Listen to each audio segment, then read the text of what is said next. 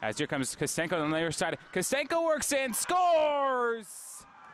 Natasha Kostenko got a partial break. Carroll now back in front for Costello. She scores!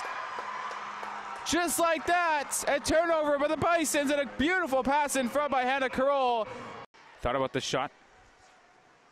Leaves it for Sarah Thon with McKinnon wanting it far side. McKinnon works in, puck loose still. Where is it?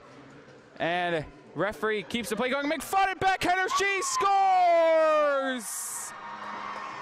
I think we definitely needed um, in the third period to kind of uh, work together and kind of regroup, get back to what we know, how to play. And I think that just putting like one puck in the net like kind of got it jumping.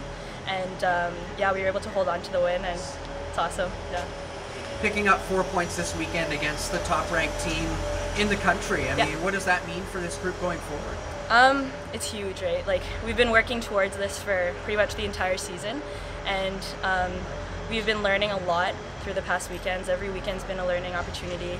Um, it's a huge, definitely a confidence booster for our group, I think, and it kind of um, we have to be we can't be complacent still, and I know we won't because we work really hard, and we just got to continue to see where our potential is because I think we've hit that in the third period and just play to that standard.